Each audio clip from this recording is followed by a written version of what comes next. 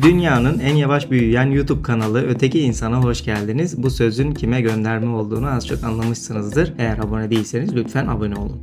Geçelim videomuza arkadaşlar. Şimdi bu video normal şartlarda 2023 seçimlerinin hemen öncesinde yayınlanacaktı. Çünkü biz e, biliyorsunuz Teknofest'e gittik. Teknofest'te bir sürü yeni gelişim gördük. Ama e, seçimlerden sonrasını bırakmamızın bir sebebi de arkadaşlar herhangi bir siyasi partiye mensup olduğumuzu veya e, herhangi bir yere destek verdiğimizi düşünmemeniz için bu videoyu seçimlerden sonrasına bırakıyoruz. Ama kesinlikle izlemeniz gereken çok güzel dolu dolu filmlerle geldiğimi ifade etmek istiyorum. Şimdi geçelim ilk filmimize filmimize beni gerçekten çok motive eden bir film ve e, yıllardır hepimizin kanayan yarası olan e, bir konuyu ele alıyor. Bu filmde 1. Dünya Savaşı ve Kurtuluş Savaşı'nda görev yapan düşman uçağı düşüren ilk Türk pilot olan Vecihi Hürkuş'un hayatı beyaz perdeye aktarılıyor. Henüz 16 yaşındayken uçma sevdasının peşinden giden Vecihi Hürkuş hayatını uçak üretmeye ve yeni pilotlar eğitmeye adadı. Türk havacılık tarihinin en önemli isimlerinden pilot ve mühendis Vecihi Hürkuş'un hayatının anlatılacağı bu filmde ülkemizde zaman zaman yapılmak istenen kalkınma hareketlerine bir engelde burada vurulduğunu görüyoruz. Gülen Gözler'de Şener Şen'in oynadığı Vecihi karakteri esinlendiği Vecihi Hürkuş'un gözü kara ve biraz da deliliğini almıştı. Şener Şen'in oynadığı karakter o kadar sempatik ki Vecihi Hürkuş'un kim olduğunu bilmeden daha çocukken onu çok sevmiş olduk. Kudret Sabancı'nın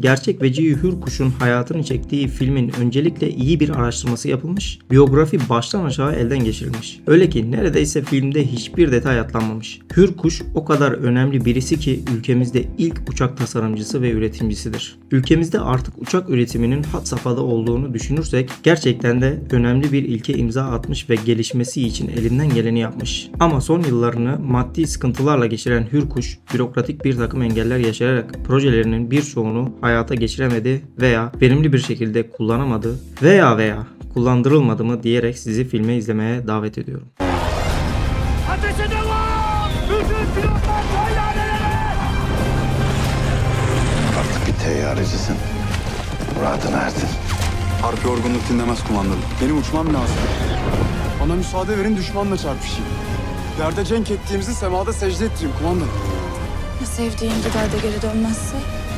Ya dönersen?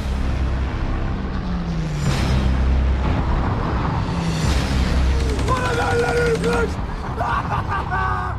Hemen hız kesmeden devam edelim arkadaşlar. Bandırma Füze Kulübü. Kısıtlı imkanlara karşılaştıkları tüm engellere rağmen gökyüzüne füze göndermeyi başaran bandırmalı gençlerin hikayesini anlatıyor. Füze yapacağız. Oturun oturduğunuz yerde icat çıkarmayın başımıza. 1950'li yıllarda uzaya karşı merak gittikçe artmıştı. Amerika Birleşik Devletleri ile Sovyetler Birliği başta olmak üzere pek çok ülkede bilinmezlerle dolu semanın ötesine geçebilmek için müthiş bir mücadele başlamıştı. 1957 yılında ilk olarak Sovyetler Birliği Sputnik'le uzaya roket göndermiş, ardından da Amerika Birleşik Devletleri harekete geçmişti. Sputnik'ten ilham alan Bandırma'da yaşayan liseli gençler, devlet desteği, maddi imkanlar, uzay programı dahi olmadan hayallerini gerçekleştirip imkansızı başarabilmek, uzaya roket gönderebilmek için Bandırma Füze Kulübü'nü kurmuşlardı. Ömer Faruk Sorak filminin dramatik yapısını bu konuda bir çekingenlik göstermeden yönetmenliğini Joe Johnston'ın üstlendiği 1999 yapımı October Sky filmi üzerinden kuruyor. Yine küçük bir kasaba, yine gizli gizli başlayan ve oradan buradan bulunan parçalarla yapılan füzeler. Başarısız atış denemeleri alay ve aşağılanma ile karşılanma da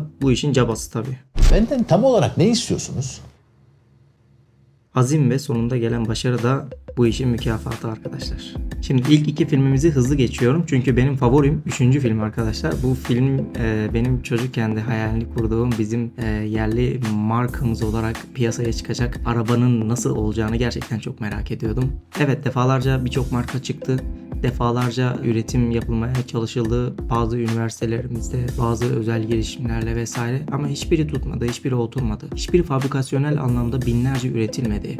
Yani e, sürekli devam edilmedi. Bir Mercedes, bir BMW olmadı. Ama çok şükür bugün görüyoruz ki e, TOG markamız en güzel şekliyle, en oturmuş şekliyle şimdi üretimde ve insanlar gerçekten bunun için sıraya giriyor, kuyruk oluyor. Umarım ileride daha iyi teknolojilerle, daha güzel bir haliyle de görmek ömrümüzce nasip olur. Olur. Hemen bu kadar bahsetmişken tabii filmin hangisi olduğunu da az çok tahmin etmişsinizdir. Başlıktan da göründüğü üzere arkadaşlar devrim arabaları. 1960 yılında 27 Mayıs darbesi sonucu göreve gelen General Cemal Gürsel'in gerçek hikayesinden yola çıkarak oluşturulan Devrim Arabaları adlı filmi babası darbecilikle suçlanan parlak yönetmen Tolga Örnek'in çekmesi ilginç bir tesadüf olmuş. İhtilalden bir sene sonra Cumhurbaşkanı Cemal Gürsel uzun zamandır hasretini çektiği yerli üretim bir otomobilin yapılmasını emreder ve görevin Türkiye Cumhuriyeti Devlet Demiryolları işletmesine verildiğini açıklar.